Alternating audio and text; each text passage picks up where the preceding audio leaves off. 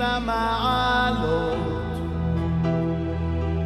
אשא עיניי אל ההרים, מאין יבוא עזרי. עזרי מעימד Shalom Bacha, je voudrais vous souhaiter une bonne journée, que le bon Dieu vous protège, vous donne la santé, la joie, la prospérité. Cette semaine, nous avons fait pendant une semaine des cours de Torah à la mémoire de Suzanne Sarah Gisèle Bat Mesouda. La malheureuse, elle est venue en Israël pour son anniversaire. Elle a été renversée par, un camion. Et la pauvre, elle est décédée. Que Dieu repose son âme en paix. Donc toute la semaine, il y aura des cours de Torah à sa mémoire. Mes amis, aujourd'hui, je voudrais vous raconter une histoire. Il y avait une fois le Rama. Le Rama, c'est celui qui a expliqué le Shulchan Aruch avec Rabbi Yosef Karo. Vous savez, il y a un livre qui s'appelle euh, le Shulchan Aruch, c'est les livres des lois, des lois juives, qu'il a écrit Rabbi Yosef Karo, il est enterré à côté de Harizal à Kadosh.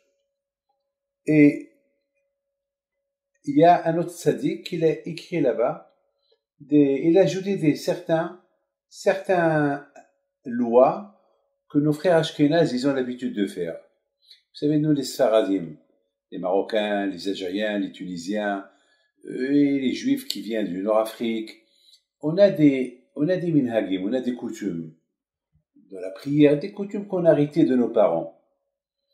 Et les, Ashkenazim, qui sont de la Russie, qui sont d'ailleurs, de, la Hongrie, de, la Pologne, eux, ils ont aussi des minhagim qu'ils ont reçus de leurs parents. Malheureusement, le, le peuple juif, une fois, lorsqu'on était tous en Israël, lorsqu'il y avait le Beth Amikdash, alors on avait la même prière, les mêmes minhagim, la, la chose était, était, euh, était pour tout le monde. Mais depuis qu'on est parti en exil, alors, alors chacun, avec l'exil, il y a des choses qui ont été oubli- oubliées, il y a des coutumes qui sont faites. D'ailleurs, vous voyez comment on prie. Nous, on dit Baruch Ata, et les Ashkenazim ils disent Boré Chatou. Et même les, les Thémani, les Juifs de Théman qui sont Sfarad, aussi ils ont la- l'accent comme les Ashkenazim. C'est bizarre, j'ai jamais. C'est dur pour moi de croire à ça, mais c'est comme ça. Ils ont l'accent ashkénaze. Aussi disent Borir, Oto, Adono, et c'est comme ça. C'est c'est les coutumes. Nous, on dit A, eux ils disent O, mais c'est comme ça. Alors, euh, Rabbi, Rabbi Moshe Asserles, il avait un élève. Et cet élève était, était avec lui pendant, pendant un laps de temps. Un jour, il a disparu. On ne sait plus où est-ce qu'il est. Il a disparu de la circulation. Rabbi Mo- Moshe Asserles, à Shalom, qui s'appelle le Rama, il a, a fait des recherches, il n'a pas trouvé. Quelques années plus tard, il a rencontré dans une ville, comme ça. Comme ça, il l'a vu. Il a dit, mais c'est lui mon élève, que j'ai pas vu plusieurs années, mais c'est lui. Alors tout de suite, il s'est arrêté au milieu de son cours. Il a appelé.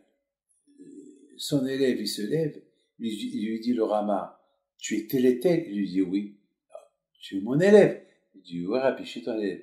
Mais ça fait longtemps, je t'ai pas vu. Où tu es parti? Tu m'as pas laissé, tu n'as pas laissé de trace de vie. Il dit Rabbi, je peux pas te dire là devant tout le monde. Après ton cours, on ira dans un côté, je te dirai. Bon, après le cours, le Rama, il l'a invité chez lui, là où il était là où, là où il, il passait la nuit. Il m'a dit, qu'est-ce qui s'est passé exactement? Mais j'ai même cru que peut-être euh, tu es mort. J'ai cru que peut-être euh, euh, tu t'es assimilé. J'ai cru. Shalom lui dit. Alors, où tu étais? Non, Rabbi Baruch Hashem, je, je suis dans la Torah, j'étudie la Torah, et d'ailleurs dans cette ville-là, celui, avec qui j'étudiais la Torah, tel et tel rabbin. Ah bon? Oui. Ah mais pourquoi tu, tu m'as quitté?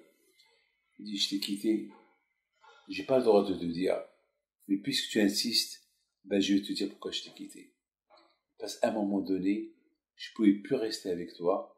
parce que je voulais beaucoup avancer. Et pour avancer, il fallait que j'étudie avec Elia un avis. Il dit, quoi? Il y a un avis? Toi, tu étudies avec Elia un avis? Je dis, oui. Dit, quoi? Je n'arrive pas à croire. Toi, tu étudies avec lui Il a dit, oui.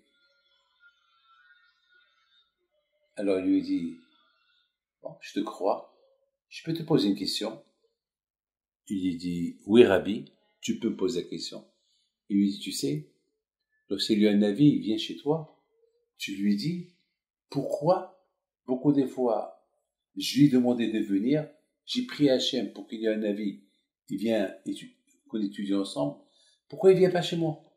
Pourquoi il vient pas, pourquoi il chez toi? Toi qui es mon élève et moi qui est ton rave, pourquoi il vient pas chez moi? Dit d'accord, je lui ai demandé et je donnerai la réponse. Le lendemain, l'élève il vient chez son rabbin. Il lui dit Rabbi, j'ai demandé hier soir, il lui a un avis. Pourquoi il vient pas chez toi?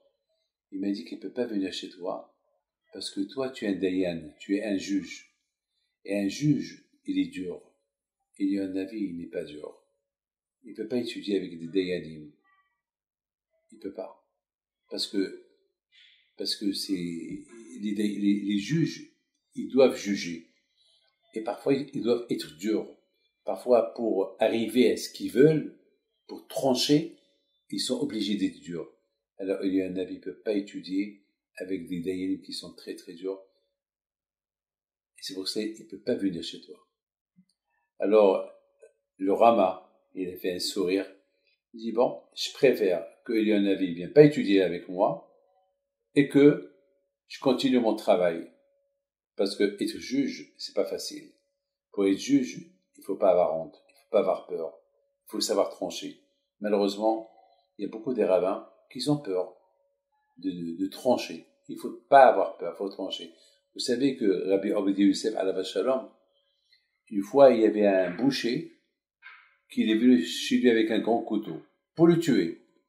Il rentre au bureau de Rabbi Obadiah Yosef. Et Rabbi Obadiah Yosef, il voit le boucher du couteau. Il dit, qu'est-ce que tu veux? Il dit, ben, je suis venu là pour te tuer. Je dis, pourquoi tu veux me tuer? Dit, parce que, à cause de toi, euh, j'ai perdu beaucoup, beaucoup, beaucoup d'argent. J'ai dit, quel argent? Oui, parce que moi, j'avais un, un, un et ce majliah, il est très dur avec moi. Beaucoup de femmes me disent, ça c'est pas cachère, ça c'est pas cachère, et je perds beaucoup d'argent. La Rabbi a dit, et qu'est-ce que tu veux? Qu'il te dit que, c'est cachère, comme ça tu donnes du tarif aux juifs. Tu me fais peur avec ton couteau. Et tu sors d'ici. Il a eu peur, il est sorti. La Torah a dit, Altagoro me La Torah a dit, il faut pas, le juge, il n'a pas le droit d'avoir peur de personne. Mes amis, que le bon Dieu protège et que le beau Dieu donne longue vie à Melchiasson. Bonne journée. אדוני ישמור לך מכל רע, ישמור את נפשך, אדוני ישמור צאתך ובואך. מעתה